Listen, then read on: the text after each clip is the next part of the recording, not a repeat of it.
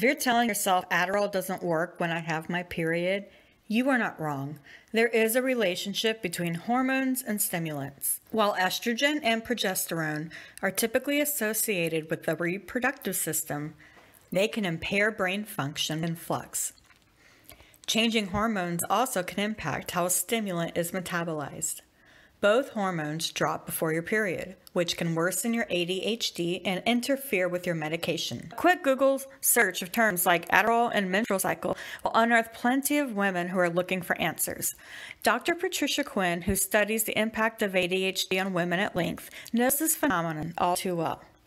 The author of 100 Questions and Answers about Attention Deficit Hyperactivity Disorder in Women and Girls clocks the impact around the week before your period. I tell all women, you need to look for this for two consecutive months and pick out five symptoms. Rate them each day for two months, one being a good attention span, four being terrible attention span, one being in a good mood, and four being depressed. Dr. Quinn explains in a Totally ADD webinar. If you see anything getting worse before your period, you may want to increase the dose of your medicine for that week your stimulant medicine. But you also may want to think about evening out the hormones if you're menopausal. If you are considering adjusting your Adderall or supplementing your hormones, please consult a doctor.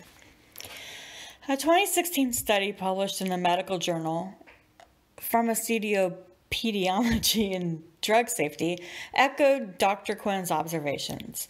The college aged women in that study, who were not on birth control, tended to take more central nervous system CNS medications at the onset of their periods, particularly Adderall. If you don't want to take more Adderall because of your menstrual cycle, there are options.